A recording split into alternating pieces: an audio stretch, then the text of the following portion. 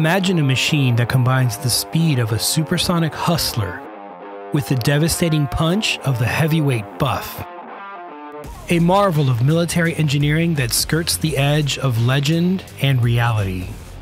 An airplane that's like the F 14 Tomcat's big brother they never warned you about. Welcome to the world of the B 1 Lancer, affectionately known as the Bone. This isn't just the story of any bomber, it's a tale of resilience, a blend of power and speed that has defied the odds. Outperforming the legendary B 52 in bomb load, the bone struck fear into the hearts of its adversaries. So much so that it was deliberately restrained by international treaties. But there's a twist it was cancelled not once, but twice. And yet, it soared back stronger than ever, while obtaining over 60 world records. Today, we're diving into the secrets of this iconic aircraft, the last of the American swing wings. From its unexpected origins to its crucial role in modern conflicts, the B 1 Lancer's story is more than just metal and machinery. So fasten your seatbelts, hit that subscribe button, and join me on a high octane journey to uncover why the bone is an indispensable titan of the skies, is stealthier than you think, and is needed now more than ever. PilotPhotog.com Today, America uses three types of bombers, each with a different primary mission. The stealthy B 2 Spirit, the venerable B 52 Stratofortress, and of course, the fast B 1 Lancer. When you need to strike a target with total surprise, you send in the B2. When you want an overhead presence that can strike at any time, you send in the B52. So when does the B1 come into play? Well, when you need a rapid, low level delivery, flying under the radar, you send in the bone. To really understand where the B1 fits in today, you have to go back to its origins. By the late 1950s, new anti aircraft missiles made flying at high altitudes a risk for bombers. This was proven beyond a doubt when Gary Powers' U 2 plane was infamously shot down in 1960. As a result, the US Air Force started flying its bombers lower to hide from radar using hills and valleys in a tactic known as terrain masking. Low flying bombers are harder to detect because the radar would get confused with ground objects and couldn't see below a certain angle. This made anti aircraft missiles less effective against low flying aircraft. Case in point, the B 58 Hustler was designed for high speed flying, yet it wasn't good at low levels. After just under 10 years in service, the B 58 program was cancelled. Meanwhile, the B 52 bomber, though originally not made for low flying, could perform the task, but it was not really suited for it. Because of this, new designs called penetrators were developed for long, low level flights. The F 111 fighter bomber was the first true penetrator aircraft, and as a result, the Air Force wanted a bomber that could combine the Mach 2 speeds of the B 58 Hustler with the range and payload of the B 52. This new bomber would eventually replace both the B 58 and B 52, or so the Air Force thought. These requirements led to the Advanced Manned Strategic Aircraft, or AMSA project, which was about making a new bomber that could perform similarly to the F 111. As the AMSA project timeline wore on and on, the joke was that AMSA actually stood for America's Most Studied Aircraft. However, some people questioned if a new bomber was even needed, since long range ICBMs and submarine launched missiles were seen as better for defense. Defense Secretary at the time, Robert McNamara, preferred ICBMs and limited the bomber program to just studies and developing parts. These bomber studies went on, focusing on advanced technology. But McNamara didn't want a new bomber, preferring to improve the B 52s and use FB 111s for shorter missions. The AMSA project looked like it was in jeopardy. As you know, in the world of military aviation, projects like the iconic B 1 bomber often navigate through a maze of political debates and decisions. It's a realm where understanding different perspectives is crucial, just like in the B 1's journey from blueprint to sky. And when it comes to staying well informed, especially in our complex and multifaceted world, Having a reliable source like today's sponsor, Ground News, is as vital as having the right intel in an aircraft development project. Ground News offers that broad spectrum of viewpoints, ensuring you're as well equipped in your knowledge as a pilot in the cockpit of a B 1 bomber. This platform combines articles from some 50,000 local and international sources in one place, making it easy to access and allowing you to compare coverage. For example, recently the Philippine military announced joint patrols with the US in the South China Sea, and it was barely covered by the media. This comes as somewhat of a surprise because tensions are rising in the area almost daily. We can see 17 articles have been published about this in the last day, with most of the sources coming from a center leaning view. I appreciate that I can also see who owns these sources and how factual their reporting practices tend to be. What I really find useful is that I can skim the headlines and see how the story is being reported. In this case, we can see that sources on the right include the strengthening of the alliance between the US and Philippines, while sources on the left highlight the actions of Chinese warships. And you can see these at a glance on the Ground News site, which is available on desktop or mobile. So, if you care about the truth like I do and are tired of the misleading media narratives, then you really need to be using Ground News. I highly recommend you check out the site. Go to ground.news slash pilotphoto. The link is in the description. Right now, you can get 30% off unlimited access to the Vantage plan by using my link. Subscribing not only supports my channel, but this small team working to hold the media accountable. I find their platform really useful, and I think you will too. Thank you, Ground News, and getting back to the B1. While the AMSA project was essentially canceled in the late 1960s, Richard Nixon bought it back after he became president.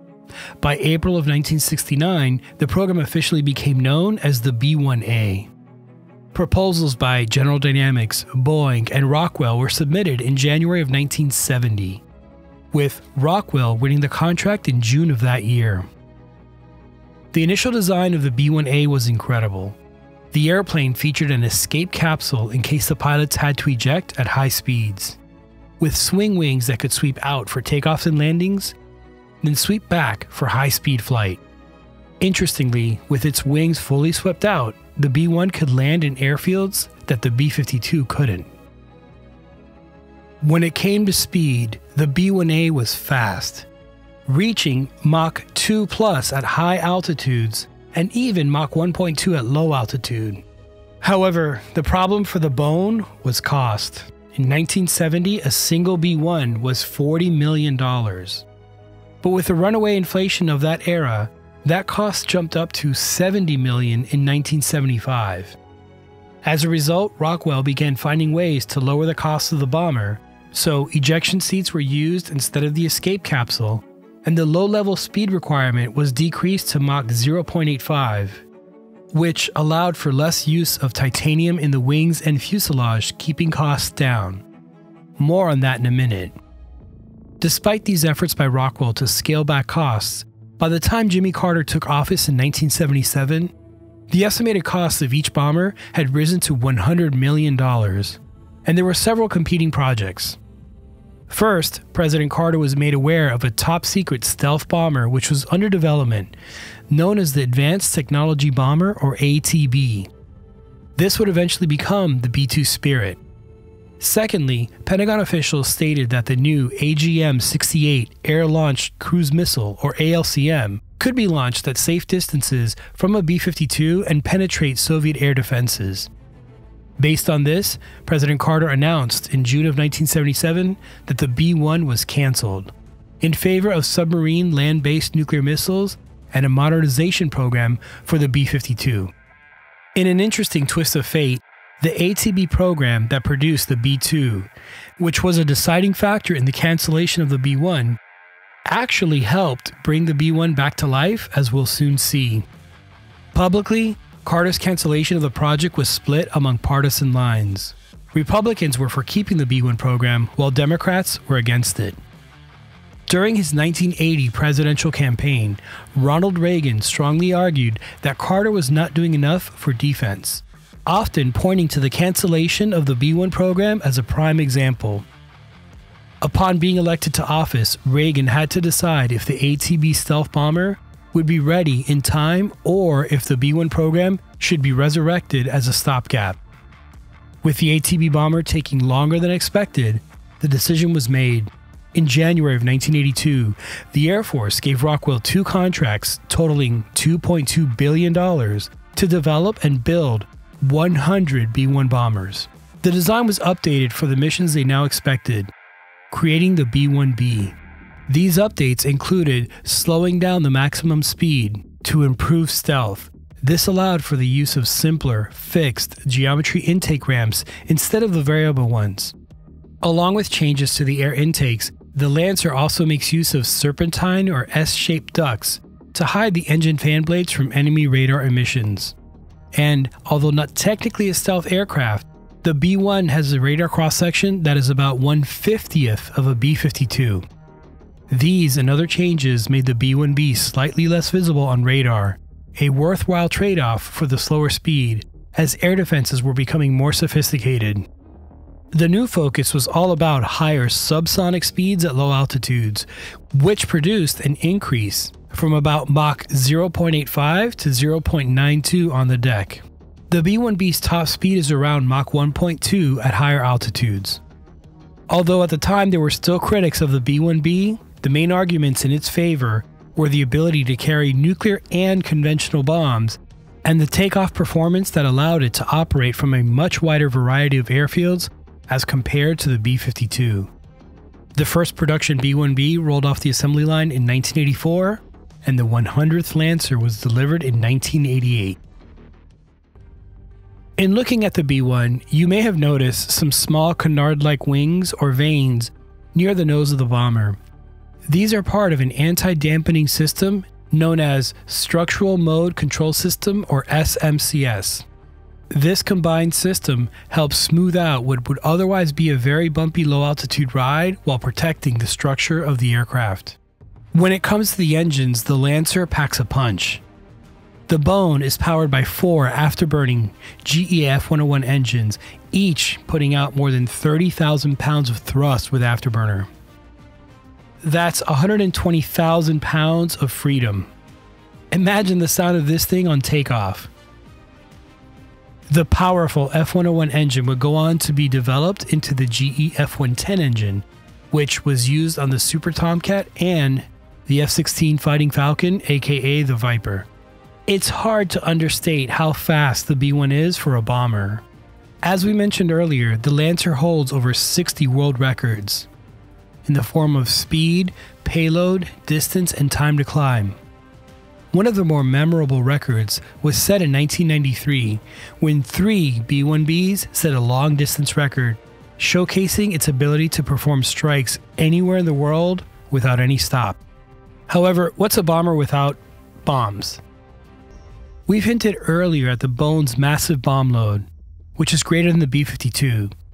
It turns out that the B 1 can carry 75,000 pounds of bombs inside not one, not two, but three internal bomb bays. On top of this, the Lancer has six external hardpoints, which can carry a total of 50,000 pounds of ordnance. It's a lot of firepower hanging on the outside. These external hardpoints give the B 1 flexibility in carrying oversized weapons that may not fit inside the internal bomb bays. And the amount of weapon options the Lancer can take are staggering. Everything from long range anti ship missiles to conventional free fall bombs, cluster bombs, and of course, precision guided bombs. The B 1 also uses rotary mounted launchers to dispense JDAMs, giving new meaning to the phrase reach out and touch someone. Speaking of precision guided weapons, the Lancer can make use of Lockheed's Sniper XR pod, which allows the B 1 to use multiple sensor formats to positively self identify targets before prosecuting them. Conventional weapons, initially an add on for the B 1 program, may have been what actually has kept the bomber in service. The idea of a supersonic capable, low flying strategic bomber gave the Russians nightmares during the Cold War. In fact, the B 1 was so feared that it was specifically called out in a nuclear arms treaty and had to be reconfigured as to not allow it to carry nuclear weapons. These modifications included adjustments to the hardpoints to prevent nuclear weapon pylons from being attached, the removal of weapons bay wiring bundles that could arm nuclear weapons, and the destruction of nuclear weapons pylons. These conversions were completed in 2011 and Russian officials inspect the bombers every year to verify compliance. Officially, the B 1 first saw combat not in 1991's Desert Storm, but in the 1998 Desert Fox campaign, where it dropped mostly unguided general purpose weapons. Since then, B 1s have seen action in the Kosovo Allied Force campaign, the Operation Enduring Freedom campaign in Afghanistan, and in the 2003 Second Gulf War. During these conflicts, the B 1 dropped both conventional and precision guided bombs, more than sharing the load of all ordnance dropped. For example, in the first six months of Operation Enduring Freedom, eight B 1s were responsible for dropping almost 40% of the bombs used by coalition air forces. This included about 3,900 JDAMs, making up 60% of the total dropped. During Operation Iraqi Freedom, the B 1 played a significant role despite flying less than 1% of the combat missions, as it delivered 43% of the JDAMs used. That works out to about 480 JDAMs dropped per Lancer. In 2012, the 9th Expeditionary Bomb Squadron returned from its six month tour in Afghanistan. The squadron's 9 B 1s flew 770 sorties making it the most of any B 1 squadron on a single deployment. During this time, the squadron spent 9,500 hours airborne and always kept at least one of its bombers in the air at all times. In doing this, the 9th accounted for a quarter of all combat aircraft sorties over Afghanistan, while fulfilling an average of 2 to 3 air support requests per day. And while we all love the A 10 swooping in and supporting troops on the ground, Sometimes we forget that the B 1 has saved the lives of many an Allied soldier, possibly even some viewers of this video. B 1s also participated in operations against ISIS in Syria as part of Operation Inherent Resolve, during which, on 31 separate occasions, the bombers went Winchester, meaning they dropped all their payload. Today, the B 1 remains active, continuing to fly missions daily in ongoing operations. With its high speed and long range, the B 1 has evolved into a quasi stealth bomber that is effective in conventional warfare against ground targets. Interestingly, the B 1 is seen as a useful asset for maritime duties such as patrolling shipping lanes, a feature that could come in very handy in the Pacific Theater of Operations. Currently, there are plans to upgrade the bone to keep the aircraft viable, with some estimates showing it being in service until 2038. And as you have now heard, the B 21 Raider is in development and already flying. However, if there are delays in the Raider program, then history could repeat itself. After all, the bone was greenlit because the B 2 Spirit was taking longer than anticipated. In a similar way, what if the B 21 takes longer and the Lancer gets an extension on its operational life. In many ways, it would be a fitting addition to the story of the twice canceled, misunderstood, and feared bomber that is the Bone. One last thing the Air Force had proposed an updated version of the Bone, one that would have slightly less range but more speed. It was referred to as the B 1R, with R standing for regional. You never know when I may release my next video, unless, of course, you subscribe to the channel and click the bell for notifications. You can support me by supporting today's sponsor, Ground News, getting an awesome mug on my shop, or joining my awesome Patreon crew. The B1 Lancer. Fear the Bone. Now you know.